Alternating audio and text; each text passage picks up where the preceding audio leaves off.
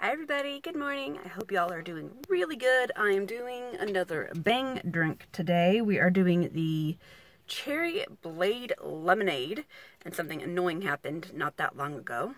Alright, so, contains no fruit juice. One serving is one can, zero calories, zero fat, zero trans fat, zero cholesterol, 40 milligrams of sodium, 85 milligrams of potassium, zero carbs, zero sugars, zero fibers.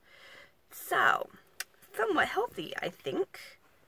So while I'm opening this, I want to tell you. So I get to work early because during the winter season, woo, it's foaming. If I don't leave the house at a certain time, the sun is literally directly in my eye when I'm driving to work, which is not good because I can't see.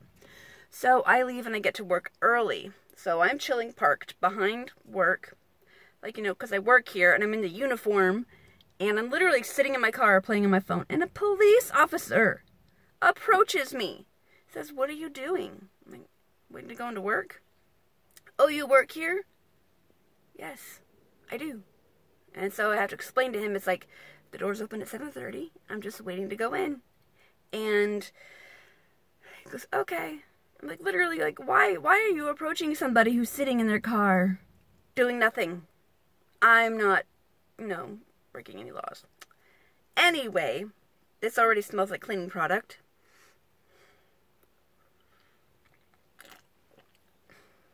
But it tastes good. Mmm. That tastes really good, actually. I like that one a lot. Out of all the bang, that's probably my favorite so far. Alright, so, I got it on me, because I'm messy. Okay, so, cherry Blade lemonade.